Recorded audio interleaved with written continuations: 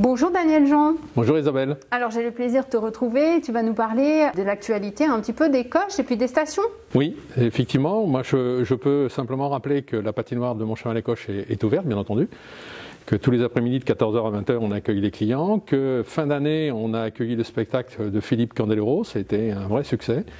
Et je pense que d'ailleurs, les gens en redemanderont, donc il euh, faudra se poser la question pour les années suivantes si on ne peut pas effectivement le faire revenir. On a mis des gradins, et ça, ça permet d'accueillir euh, plus de monde et pouvoir participer et regarder les spectacles qui se, déroulent sur la patinoire. Et on va pouvoir faire beaucoup plus d'animation euh, en, en, utilisant ces gradins. Et notamment, on va organiser pratiquement toutes les semaines des vacances de février un match de hockey, démonstration, pour euh, satisfaire le public qui demandait euh, qu'il y ait ce type d'animation. Voilà. Je voudrais profiter de l'occasion qui nous est donnée d'échanger sur l'actualité pour faire un appel euh, aux personnes jeunes qui voudraient être vacataires le samedi et le dimanche pour accueillir nos clients pendant les vacances de février, parce qu'on sait qu'il y a beaucoup de monde et qu'il faut les orienter, les accueillir, leur, dire où sont les lieux de stationnement. Et aujourd'hui, on, on peine à avoir des gens volontaires.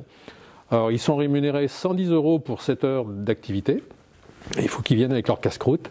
Et bien entendu, bah, plus il y aura de personnes, mieux on pourra accueillir nos, clients en station, que ce soit sur la plaine altitude ou que ce soit sur mon chemin les coches. Génial, bah, c'est le bon plan du week-end alors. Bah voilà, exactement, exactement. Merci Daniel. Bah, je t'en prie, à bientôt Isabelle. Bonne continuation. Merci. Un autre sujet vous intéresse pour l'actu du conseil du mois de janvier? Rendez-vous jeudi.